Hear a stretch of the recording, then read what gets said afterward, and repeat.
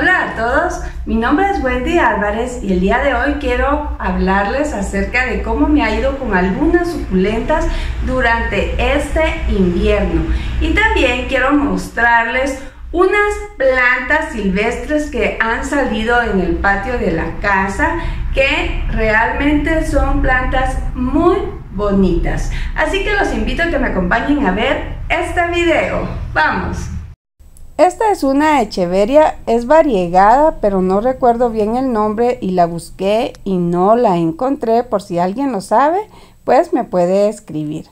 Vieran que me di cuenta de que es propensa a la pudrición porque se empezaron a podrir unas hojitas de hasta abajo.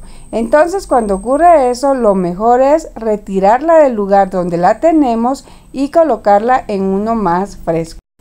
Esta es una Echeveria Black Prince. Esta suculenta sí la he tratado de cuidar mucho porque la planta madre la resulté perdiendo porque es muy propensa a la pudrición y más ahorita que estamos, vean acá tengo una pequeña que se me pudrió así, de repente apareció así, entonces hay que tener mucho cuidado con el agua. Esta suculenta es propensa, es un sedum rubrotinctum. Esta es propenso al oidio. El oidio es como polvito, es un hongo que se ve como polvito y ese polvito lo mantienen este tipo de suculentas. Este es un sedum nariz de payaso y también es propenso a ese hongo oidio. Vean acá, se nota desde el tallo cuando están así es porque tuvo ese hongo.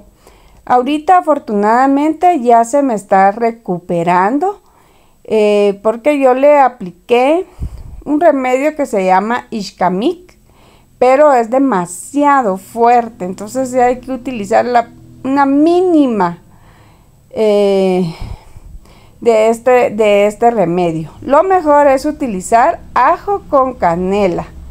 Eso es lo mejor, la verdad, porque si no, lo podemos perder. Vean, ahí se ve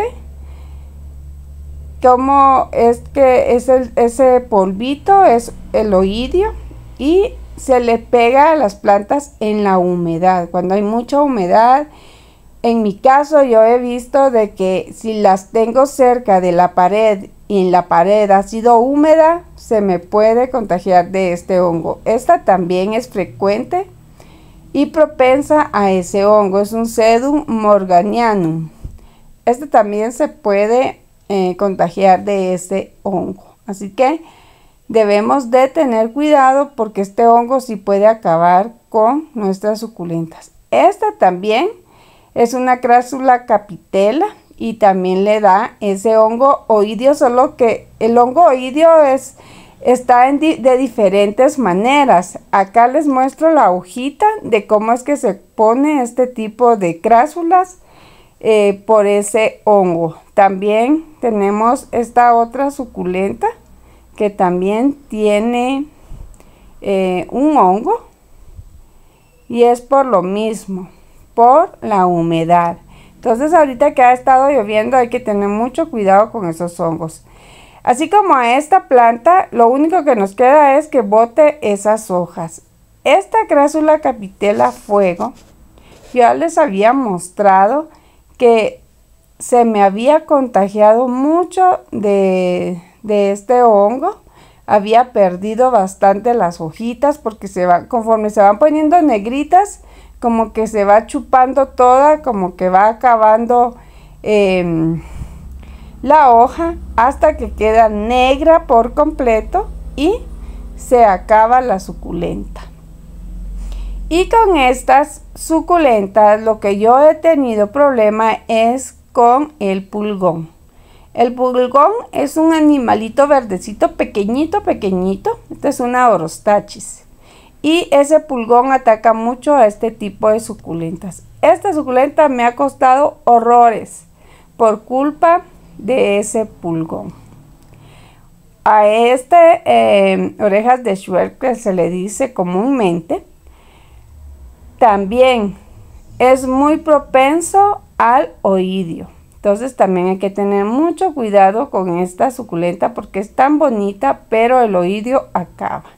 Y acá, esta suculenta me apareció con este nombre de Echeveria Bru Waves, pero eh, buscándola aparecía con otro tipo de nombres, en fin, no sé exactamente si realmente ese es el nombre. Acá le está atacando lo que es el pulgón. Acá en el centro. Y esto ocurre cuando se le acumula agua a la suculenta en el centro. Y ahí es donde aprovechan las hormigas y el pulgón. Entonces hay que tener mucho cuidado. Y para este eh, se utiliza alcohol. El alcohol es muy efectivo para estos, eh, esta plaga. Pero eso sí, hay que tener mucha paciencia.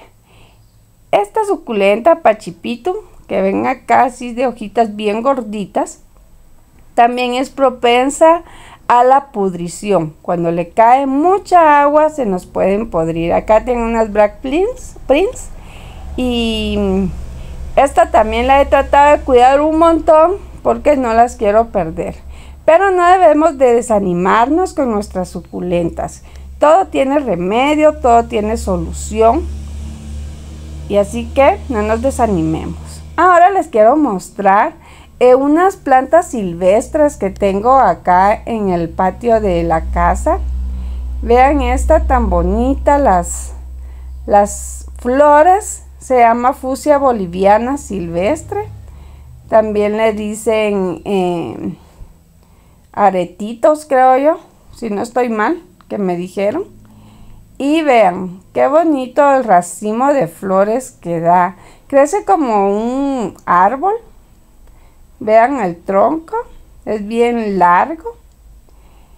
Y acá salió de repente. Yo solo lo vi y me gustaron las flores eh, cómo, dio esta flor. Entonces no quise quitarlo porque la verdad es que se ven muy bonitas estas flores. Pendientes se le llaman a estas flores. Y así es como están. Ven qué bonitas. A mí me gustan, la verdad. Eh, ahí sí que son silvestres, se dan en el monte, se dan en cualquier eh, área boscosa pero acá me dio a ma, amaba, acá me dio a mí y eh, así está. Y vean, esta a mí me encanta, es una Xanthosoma violaceum. Qué grandes hojas las que da y el tallo es bien grande. Me llamó mucho la atención el tallo porque eso quiere decir que puede dar a más. Em, esta planta. Y vean acá estas hojas también tienen ese hongo oidio que se va poniendo amarillosos también. Ahí sí que el oidio eh, hay de diferentes eh, especies, se podría decir. Y ahí sí que ataca todo tipo de planta. Y tengo estas hojitas bringueadas de rosadito. Vean qué bonitas. La verdad es que me gusta mucho porque siento que adorna bastante eh, el patio. Y Poestes Philostachea se llama. Ese es su nombre científico. Comúnmente no, no, no encontré cómo es que se llama. Y acá tengo estas rosas. La verdad es que sí han dado bastante. Rosa X Damascena es muy bonita esta rosa y huele tan rico, sin mentirle, solo me asomé acá a grabar y sentía ese aroma de, estas rosas. Son muy bonitas y la verdad es que cuando se esparce, se esparce. De veras que da bastante. Y también lo está atacando ese hongo oidio. Lo que pasa es que acá donde yo vivo es muy húmedo entonces, eh, tiendo a, que mis plantas sean atacadas por hongos. Y, por, y ahora les quiero mostrar esta flor tan bonita. Esta es flor de achira o cigarrón y también recibe otros tipos de nombre. Si ustedes la han visto y con qué nombre la, la conocen ustedes, me pueden escribir. Y así es como está esta flor. La verdad es que me gusta mucho, pero hay gusanos acá que me la están va de comer. Y yo creo, yo he visto de esos gusanos peludos negritos. Choconois le dicen acá en Guatemala. Y eso es lo que me la ha atacado. Pero vean qué grandes hojas las que da esta, esta planta. Y da flores eh, amarillas también, rojas y moradas. Esos son los tres colores que yo he visto de, esta planta. Y realmente em, crece bastante. La verdad es que me da cosa tocarlas porque no sé que me aparezca un gusano y a mí los gusanos no me gustan. Y acá tengo lo que es lazo de amor con una flor moradita. Abunda, abunda el lazo de amor acá donde yo vivo. Sin mentirles que acá en toda esta área donde estoy grabando hay bastante lazo de amor. Esta es colgante y es bien bonita. La verdad es que yo he visto eh, de esta planta y en otros lados es muy bonita. Y acá tenemos una Hedera Helix Dover, que la conocemos también como hiedra y tiene las hojitas en forma de estrella. Esta planta también es muy bonita y también es muy prolífica acá. Se ha dado bastante esta planta, igual que el lazo de amor. Bueno, y así es como quedó este video. Espero les sea de mucha ayuda la información que les di. Esta es una mora silvestre. Yo ya les había mostrado las moras silvestres en un video anterior. Y así es como quedó este video. Espero les haya gustado.